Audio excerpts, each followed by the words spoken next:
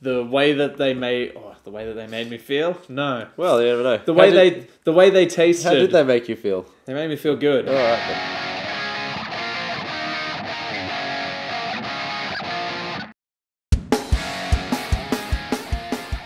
Welcome back to another Schooner and Hopp beer review. We're sitting here with a a seasonal beer. Yeah. It's made by the Black Hops Brewery in Burleigh. We discovered this brewery whilst kind of gathering information for this channel. Yeah. Uh, I managed to try their goat beer from a place called Hellbound in New Farm. Really enjoyed that. It blew me away. And ever since then, I've been watching closely to what they do. They released this limited edition Black New England IPA. And when I read that it was New England, Yeah. Look, I you- had to get some. You put New England and then IPA on anything, and and he's right there. I'm, so I'm in. so- hence, put them together. we and- got this Woo! quick. Yeah. so we could do this. And look, it's conveniently lined with the episode that we are dubbing Yep. the season finale. Season finale. So this is where all the explosions happen. You don't know who survives, and you got to wait six months for the next one. Six months, jeez. no, or like a week. or just a week. Just Yeah, a week. Probably just a week. I think. Not even a week, but like no difference. No. Thursday afternoon, Yep. we know you're there. Yeah. Well, we're there. So by the end of this episode, three beers will remain, and they will follow Yep. through to season two. That's it. Uh, the rest is Thanos away. But anyway, Wounds. Wounds. let's Take- crack take this wounds for me. open. Yep. and We'll Crack give it a yeah. gaze. Oh, shit. She smells pretty strong. So, look, I can smell again. That's also a point I should make. My when cold I is mostly gone. yes, when I bought these, I couldn't help. I couldn't wait until Yeah. doing this, so I've already had one. Yeah, if you follow us on social, you saw uh, Hopp was apologising to me on there that he had one. Uh, I I planned on having one before now, but uh, just didn't get the chance. So I'm going in blind. Uh, Hopp knows what he's about with this one, so Give it a go. yeah, we'll see, eh? Let- Let's just hear yours first. Oh, shite. Holy crap. yeah. yeah, that is, that's as bitter as you told me it would be. You can taste all 6% of that. So, one thing I read about what a New England IPA is, it's basically an aggressively hopped uh, IPA, which is very obvious. This feels aggressive. It does. It attacks It- your it, taste it, buds. tastes aggressive, that's for sure.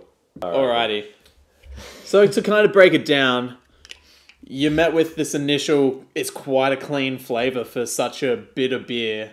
That it does, it, it's got your nice fruity, sweet flavour, and then it just, you can feel it just build up, and then it's just like, hello, hops Pure everywhere, and the bitterness to Yeah, follow. clean. It's almost overpoweringly hoppy.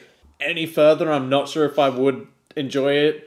I'm sure I'll eventually be enjoying stuff way hoppier than this. Yeah, probably. But for right now, this is going. almost almost at Almost the peak bitterness that I would uh, not enjoy it anymore. Yep. But you definitely you get that kind of initial quintessential New England flavor at the Yeah, start, yeah, and that's- that's, what that's I there. really like. It kind of lends its hand out, be like, enjoy, Come on in, and just and I'll slap you. pop wax. Slap you as I pull you in. Yeah, uh, But then the other thing that I really enjoy is this aftertaste. You're not left with this uh, bitter feeling in your mouth. it doesn't linger, and that's good. I would say for myself, it's maybe a little bit more bitter than I would like. It's maybe a little bit too bitter. If it was a little bit less and just had that awesome hop flavor, which yeah, let's say awesome hop flavor. The bitterness is the hops. I get that. Yeah. If it just had a little bit less bitterness, I think I'd be a lot more into it than I am. Uh, I'm not not into it. It's gonna wear thin. I think the bitterness at the end. I think by the end of a full can is just gonna be. Too I'll be much. like, yep, that's enough for me.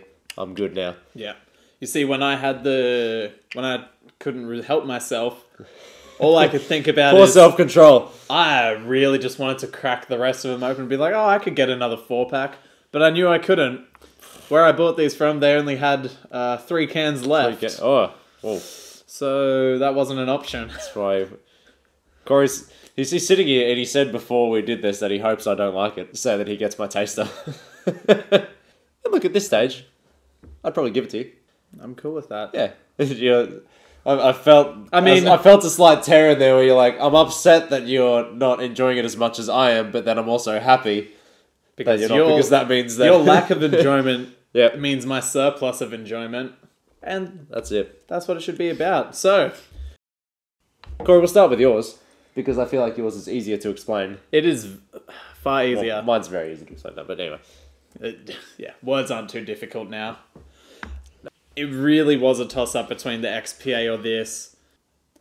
For the moment, XPA is doing it for me more, being that it's far more tropical. Yeah. I'm Not- still a I tropical know. guy. I st- I'm really enjoying dabbling into IPAs, and I'm still definitely discovering what I really enjoy out of them. Yeah. I really enjoy this. It is That's, bloody this is what sensational. This is what Hopp really enjoys out of them. Cool. So- yeah. So mine is is clearly not clearly not as high. Yeah. Um, Yeah. Sorry. yeah, did you we, have were- more we were just no. My only point is to premise your point Oh. is that the only reason it is below Brick Lane is because we just ran into them. uh, Yeah, and I just want to impress them. Uh, no, that's not the reason. They actually called us out on our uh, on my coppery aftertaste comment. I was just being honest. Uh, never thought I'd meet them. The, it's not below uh, Brick Lane because we just met the guys, right? if if I was basing it off of interactions, I would have put Black Hops up the top because they shared the photo that that's true. They did share our. Yeah. photo. So um, if I was like that, it would And be look at the, look at that! I only gave him second. Yeah, what a dick. Ah, Yeah, it wasn't my photo, so that's why it doesn't mean anything to me. Uh, no, it means a lot. Sorry, Black Hops guys. Is the big thing for me yeah. right now. Obviously, Um, coming from your nice, clean lagers, and Yeah. obviously now enjoying your lighter, fruitier stuff. yeah, so like uh, I really enjoy fruity flavors in beers now. Um, the aftertaste of this, like I said before, the bitterness uh, is just a little bit too much for me. And whereas, yeah, I didn't, I didn't really enjoy the aftertaste in the Brick Lane, but because it was more of like a lager flavor, I know, like I can, I'm used to that. I can expect it. It's, Yeah. it's fine. Um, I'm not used to drinking something so heavily bitter and then going back to it and continuing to enjoy it. The bitterness just for me just piles on and on and on and then by the last sip you have it you're like all right okay that's enough i need something i need something crisp That's, Fair enough. yeah that's Look, that that's some good points, and sure is it's definitely clear on this beer where we stand as far as our flavors go, yeah which Yep. is cool because we've definitely both progressed our flavors over the course of the season. we have we've grown character development grown, that's what you yeah. call that so i guess uh St- flavor arcs. flavor arcs like, uh, I know I definitely have spoken highly of more beers than what I led to uh, led to say on the show. No, outside of the show, I've spoken more highly of certain beers Yes. that I didn't necessarily rank up top. yeah I, I've mentioned to a lot of people that the Fig Jam IPA is incredible. Yeah. And that I've really wanted to revisit the Bishop's Best. They were both two beers that they blew me away at the first sip, and I, That- I really enjoyed it. Where I rank them isn't a reflection of how I feel about them now. yeah So in hindsight, the Fig Jam IPA would probably be sitting right now above the Goose Island. Oy. that's actually pretty high Yeah. so it would be in your top three sorry It would be in my top three. Fr- three. Three? Three, Three. but top three. It would be my top three. Yeah. Bishops, I'm not sure if I really would have ranked it anywhere else, but I definitely have come back to trying it again. Still really enjoyed it, Yep. and I feel like it just deserved that second mention. I don't know, what are you feeling For- about some of yours? So so I put put down three three points. Uh, one that I felt too high is too high. One that I felt is too low, and one that I'd like to try again. So uh, I'm just mentioning I'm mentioning two of the beers that uh, Hopp here just mentioned. So the bishops for me, I've put it up a bit higher than I probably would again. The fig jam, sorry, is is something I was going to put higher. That's the one I think is too low. So that definitely goes above it. Uh, I'm talking about. I've kind of discovered that it's really a sessionable quality is what I like in my beers. If I feel like I can have a few of them and still be enjoying them, then they would go higher for me. So The Bishops, I don't feel like is as sessionable as other beers. not a But it's a dark lager. beer. They're not made to be sessionable. Yeah, they're meant, to, made be, to meant to be thick and full flavored. Yeah. With fruit, what was it? Fruitcake. Fruitcake. Fruitcake flavor. Bishops would probably be a bit lower. Um, somewhere around the brick lane, I think. Uh, then, yeah, the fig jam. I would think the fig jam probably be beneath the uh, Balter, the XPA.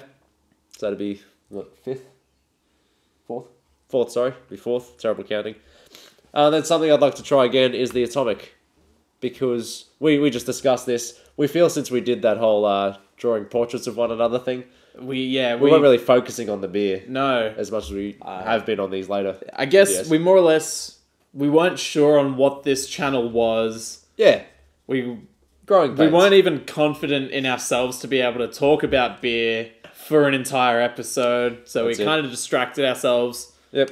We definitely didn't give it the attention it deserves. No. Your taste has changed, so you're Yeah. not going to think as So it's low of it anymore. yeah. So I, I would just wonder if I was to try it again, uh, where where it might up because it's currently at the bottom of the list, and I don't feel it deserves to be there.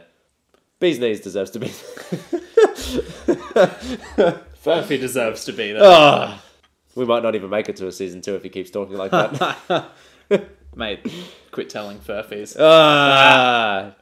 God, I, I really wanted to end this episode just then by telling you to F off and leave.